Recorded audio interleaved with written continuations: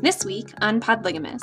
He felt that they had strayed from their original teachings, particularly in, a, in one category. Can you guess? I think we have an idea.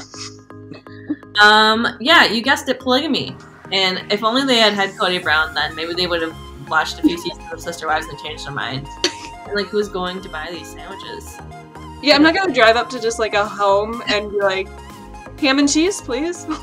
Um, and refused to pay any taxes, including sales tax, which I can only imagine that poor cashier who had to deal with this.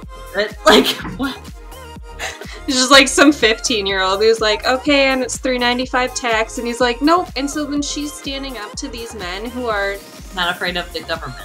Yeah. yeah. So I mean, she had some tenacity. She could have been such a powerful role model in the church who, of someone who doesn't have to like reject all of that to be strong and powerful.